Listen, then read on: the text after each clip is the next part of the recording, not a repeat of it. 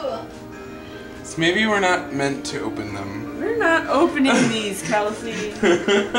we're not meant to open I wouldn't be surprised if all of them say that same day. Oh no. No, not the cinnamon rolls. Those are all old. August 17th. Yeah, These are cinnamon still rolls are. Cinnamon good. rolls are good. What about the others? June 29th. Yeah, of this year? Last time I went grocery shopping was June. Yeah. That's not cool.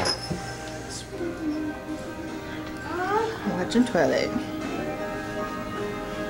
So I just read online that she might not be Victoria. Who's gonna be her?